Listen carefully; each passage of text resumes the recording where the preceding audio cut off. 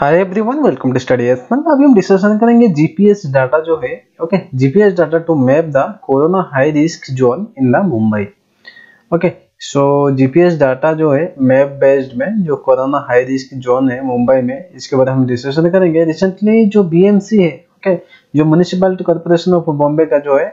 So actually उन्होंने decide किया कि जीपीएस लगाएँगे जीपीएस का जो डाटा है वो क्या है मैप मैप के द्वारा जो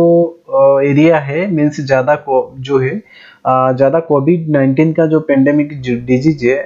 अभी जो चल रहा है कोरोना वायरस का अफेक्टेड एरिया जो है उसको जीपीएस के द्वारा वहाँ पे मैप में क्या शो करेंगे।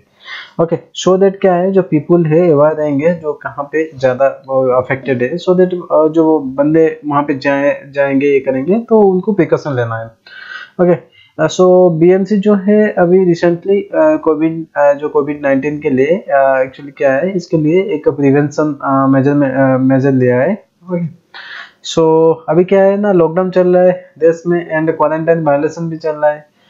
सो सिविल बॉडी जो है सिविल uh, बॉडी जो इसका क्वारंटाइन वायलेशन चल रहा है सो so दैट क्या है इसको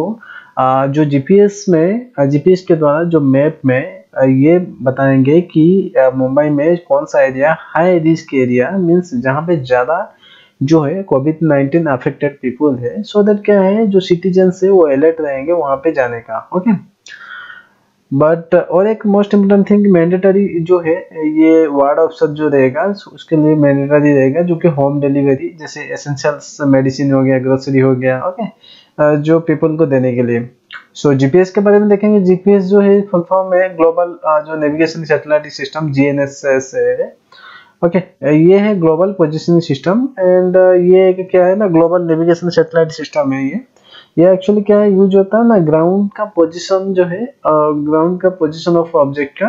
ये दर्शाता है। सो so, यूएस का